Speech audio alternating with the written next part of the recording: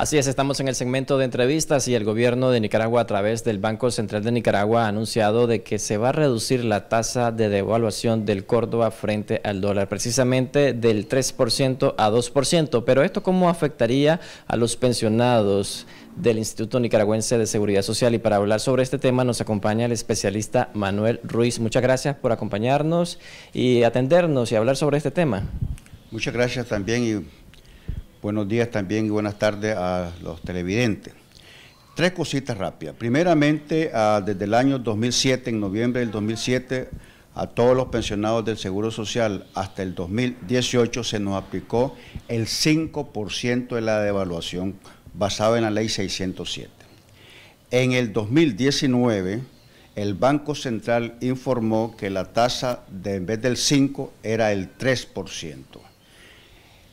Aquí lo incorrecto fue que el Seguro Social nos aplicó el 3% y no el 4.85 que debió haberlo hecho y esto afectó al 100% de los pensionados. ¿Temen que ahora pase lo mismo? Exactamente. Como eso ocurrió el año pasado, ahora dice el Banco Central, ya no es el 3, ahora es el 2.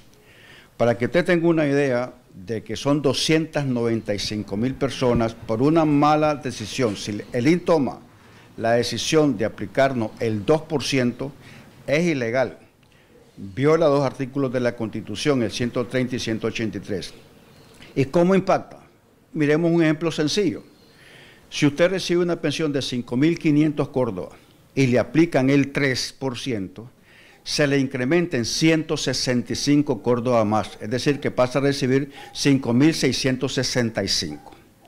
Si a usted le aplican el 2%, a usted se le incrementa 110 Córdoba y pasa a recibir 5.610.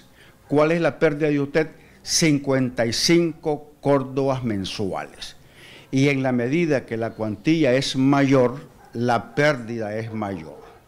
De manera que aquí nosotros esperamos, fundamentado en el principio de legalidad, que el IN cumpla con lo que establece el artículo 50 de la ley y la ley 607, que se nos debe de aplicar el 3% de devaluación y hasta el próximo año, porque el Banco Central informó que esta devaluación del 3 al 2 es a partir del 1 de diciembre y el IN tiene el compromiso de diciembre del 2019 a, noviembre del 2020. De manera que si el IN aplica el 2%, que es ilegal, estaría afectando a 295 mil pensionados, incluyendo invalidez, vejez, muerte, riesgos profesionales y las víctimas de guerra. La afectación sería con el pago del aguinaldo y también la pensión mensual que reciben estos 295 mil pensionados.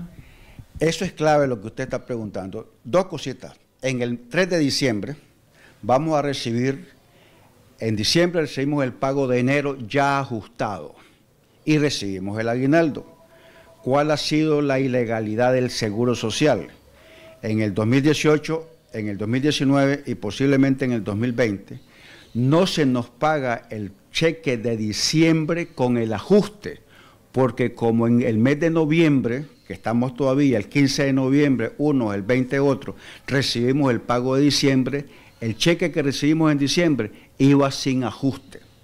Por eso se eh, tenía como norma que en el mes de enero del, año inmediato superior se le pagara el cheque debidamente eh, eh, ajustado más la parte proporcional de diciembre. Por lo tanto, el IN está en debernos por ahora dos meses, diciembre del 2018, diciembre del 2019 y miraremos qué va a pasar ahorita en diciembre del año 2020, porque esa es una deuda que algún momento histórico el DIN tendrá que restituirle a todos los pensionados porque se nos está en deber esa cantidad.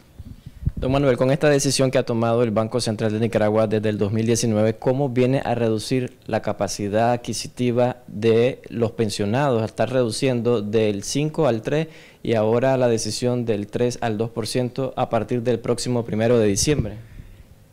Bueno, hay economistas muy destacados aquí que, eh, digamos, tienen opiniones diversas. Eh, Ellos manifiestan que con eso esas decisiones son importantes porque se está manejando adecuadamente la inflación.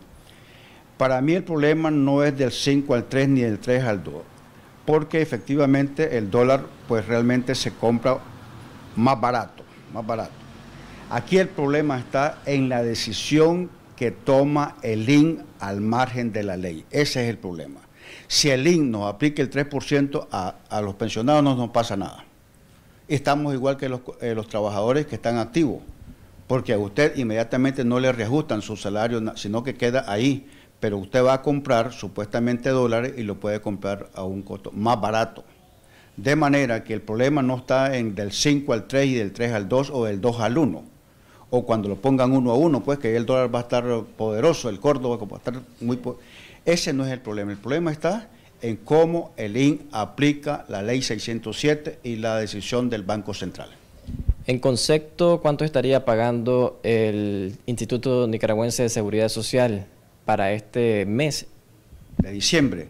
El 3 de diciembre el Seguro Social va a pagarnos aproximadamente 80 millones de dólares 40 millones de dólares que corresponde al pago de enero 2021. El 3 de diciembre recibimos el pago de enero del 2021 y el aguinaldo, ambos cheques ya deben estar debidamente ajustados. ¿En total desembolsarán cuánto?